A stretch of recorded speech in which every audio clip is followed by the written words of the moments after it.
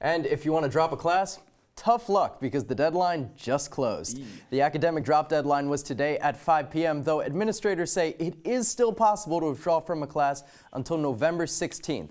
The catch is that the drop will appear on the student's permanent record. However, flex classes, which only last for a few weeks of the semesters, have different drop deadlines. In, in real life, uh, you don't have like two months to make that kind of decision. So if you're in the workplace, for example, you're not going to have two months to decide if you want to go with a case or you don't want to go with a case. I think it should be longer than it uh, than what they changed it to because I don't think it's enough time to really experience the class and really decide if you like it or not.